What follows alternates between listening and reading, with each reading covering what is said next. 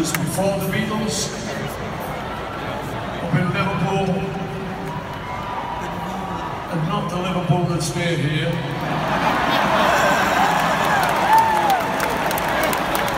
the other one. And this was at a time when we were, the group was called the Quarrymen. And, uh, we wanted to make a demo record. Uh, so we found a little studio in Liverpool. And um, we went along there to record our first record. And uh, it cost five pounds. So there was five of us in the group at the time. There was John, George, me, Colin, and Duff. Um, so we each paid a pound, and the deal was that we could keep it each for a week.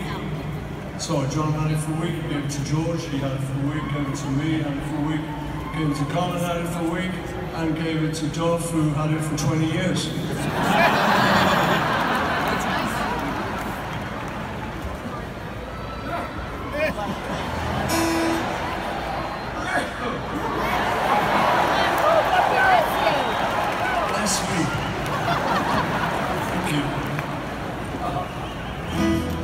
anyway, the song that we did that day is the one we're going to do now, our very first recording.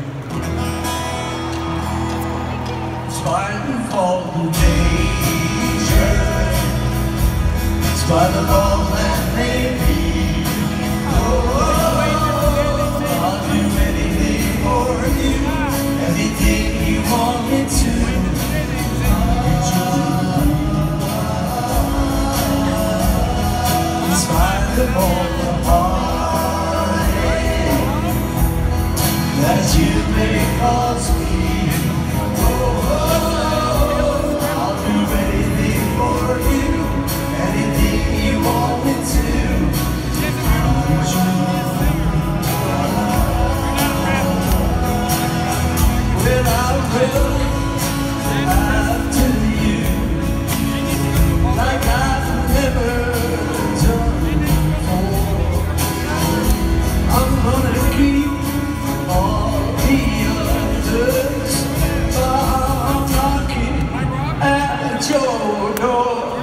spite of all the